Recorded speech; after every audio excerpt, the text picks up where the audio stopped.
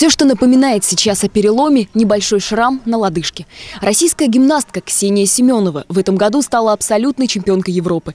Такого успеха наша страна не знала 7 долгих лет. А потом случилась травма. Теперь 16-летней спортсменке придется жить и выступать с двумя винтами в стопе. Ну, это я делала соскок с и просто неудачно спрыгнула. У меня еще в 2006 году была более серьезная травма.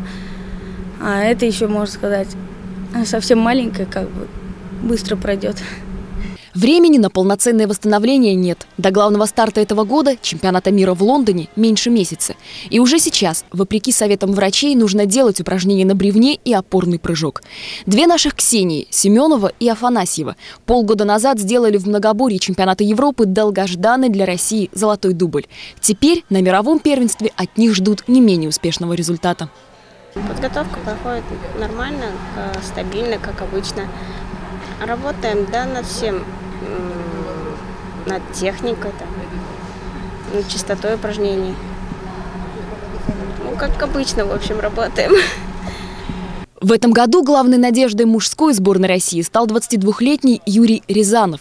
В апреле он выиграл бронзу европейского чемпионата. В июне защитил диплом. А на августовском Кубке России стал пока единственным из наших спортсменов, кто вплотную подобрался к гроссмейстерскому результату в многоборье – 90 баллам. На мире будет э, намного сложнее. Там основные конкуренты – это Китай, Япония и, и США добавятся. Я надеюсь э, оправдать ожидания и главного тренера, и старшего тренера нашего. Э, Все-таки какую-нибудь медальку, хотя бы ту же третью, но зацепить.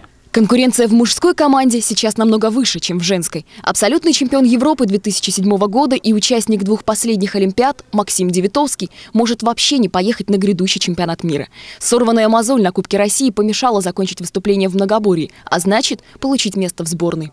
Ну, не знаю, посмотрим. У меня два старта осталось в Берлине, и потом у нас будет матчевая встреча пару дней здесь на Круглом озере с Белоруссией. И если я выступаю хорошо, набираю определенную сумму баллов, которая должна быть все-таки конкурентоспособная, э, я думаю, что я попаду. Ну, а если я допускаю какие-то ошибки, могу и не попасть.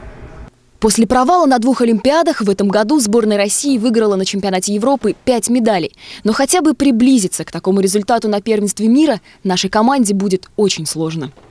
В чем-то мы уже это, подошли к тому, чтобы быть на равных с такими э, гимнастическими державами, как Китай, Япония, Соединенные Штаты, девочек скажем, Румыния добавляется.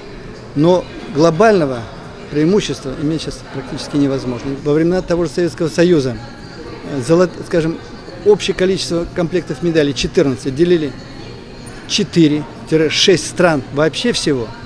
Ну, так скажем, что в Афинах число стран, которые поделили, это было 18, а не 4-6. А в Пекине больше 20.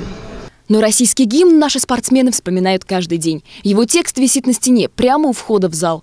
Уже через месяц гимнастам он может понадобиться. Это очень прилично. Это нормально, это очень прилично. Марина Губина, Игорь Мостовой, Никита Токарев, Инфокс.